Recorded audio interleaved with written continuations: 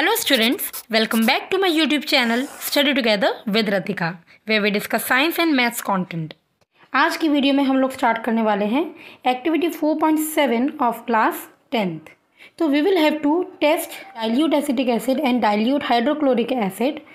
with both the papers first is litmus paper and second one is ph paper you know that the universal indicator is a use of the ph paper या ph scale ठीक है तो हम सबसे पहले use करेंगे अपना normal litmus paper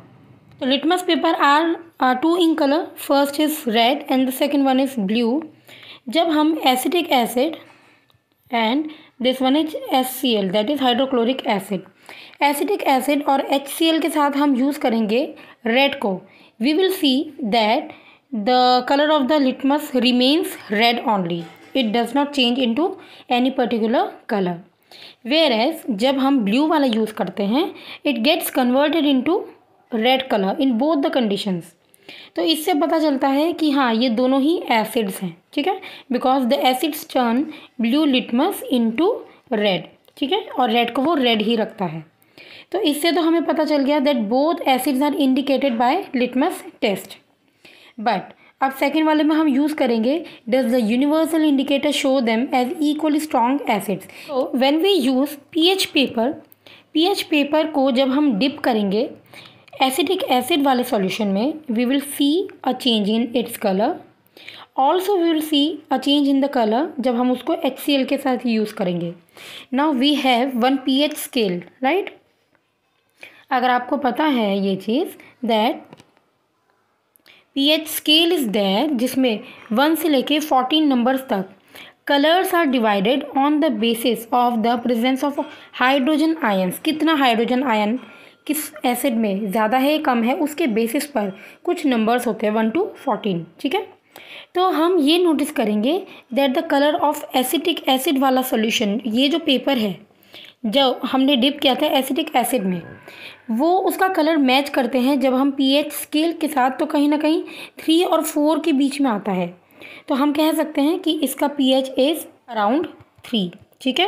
where as जब हम एचसीएल के साथ इसको चेक करते हैं और कलर मैच करते हैं तो यहाँ पे ये वन के आसपास का कलर देता है राइट तो इससे हमें पता चला that the P H of H C L that is hydrochloric acid is one and we also know कि जिसका पी एच कम होता है, वो ज़्यादा एसिडिक होता है. वेयर एज जिसका पीएच थोड़ा ज़्यादा होता है, उसमें एसिडिटी कम होती है। तो हम कह सकते हैं that acidic acid is a weak acid right and H C L is a strong one okay तो इससे हमें पता चल गया है that both the acids are not equally strong इनमें से एसिडिक एसिड है weak whereas H C L hydrochloric acid is stronger okay now let's do activity four point eight in this activity we will have to take one M L of ethanol and one M L of acetic acid ठीक है? और उसमें हमको add करना है few drops of concentrated sulphuric acid now we will have to warm it in a water bath ठीक है? And after that we will have to pour this solution into a beaker containing 20 to 50 M L of water and smell the resulting mixture first of all we will take one test tube इसमें we will add one M L of ethanol ठीक है? One M L of ethanol लेने के बाद we will add one M L of acetic acid into it ठीक है? Ethanol ले लिया, एसिटिक एसिड भी ले लिया, अब वो आपस में पूरा अच्छे से मिक्स हो जाएगा।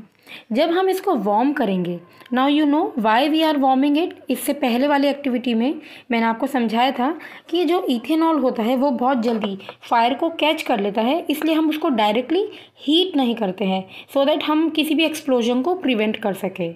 That is why we will take the help of a beaker और water bath to warm this solution ठीक है? इसमें हमने थोड़ा सा कुछ ड्रॉप्स के कंसनट्रेटेड सल्फ्यूरिक एसिड भी ऐड किए हैं, ठीक है? यहाँ पे it is written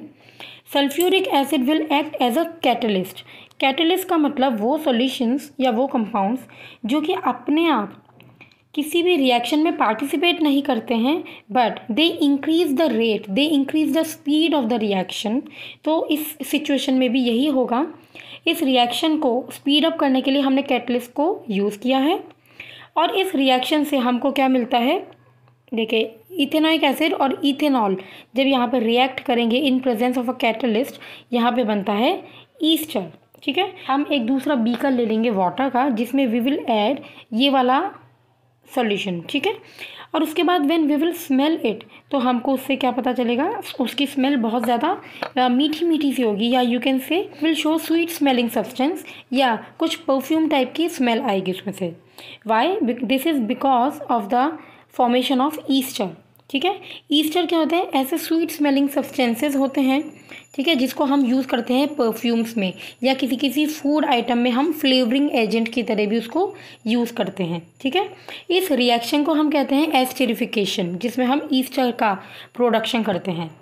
और हमेशा याद रखिएगा that this is reversible reaction यहाँ पे ये रिवर्सिबल वाला साइन भी है राइट रिवर्सिबल रिएक्शन के लिए हम क्या करते हैं? इस ईस्टर को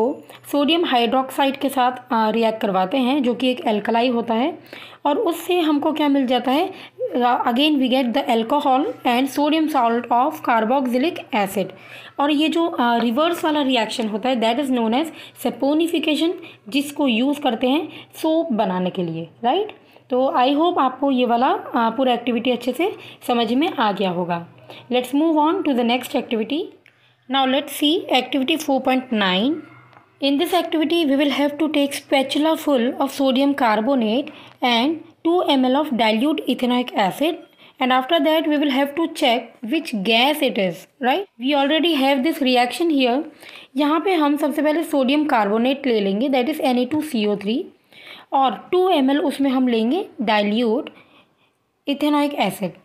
इन दोनों के रिएक्शन के बाद हम लोग ये देखते हैं कि जो गैस इसमें से निकलती है, उसको हमको बिल्कुल भी एस्केप नहीं होने देना है। We will have to pass it to the lime water freshly prepared lime water lime water you know that is calcium hydroxide right तो ये चूना वाला पानी होता है। तो लाइम वाटर से जब भी अगर C O two gas pass होती है तो ये लाइम वाटर को मिल्की कर देता है मतलब बिल्कुल मिल्क वाले कलर में कन्वर्ट कर देता है। जबकि लाइम वाटर का ओरिजिनल कलर होता है समथिंग लाइक ट्रांसपेरेंट राइट तो यहाँ पे इस रिएक्शन में हम देख सकते हैं कि यहाँ पे सोडियम एसीटेट बन रहा है एंड साथ में water and C O two are produced तो सी ओ टू को टेस्ट करने के लिए हम ये लाइम वाटर वाला टेस्ट करेंगे and we will see that the lime water will turn milky और इसी से हमें पता चलता है that whenever sodium carbonate reacts with ethanoic acid it it produce sodium acetate water and carbon dioxide gas अगर हम सेम रिएक्शन को सोडियम कार्बोनेट के साथ ना करके सोडियम बाइकार्बोनेट के साथ करें, या सोडियम हाइड्रोजन कार्बोनेट के साथ भी बोलते हैं इसको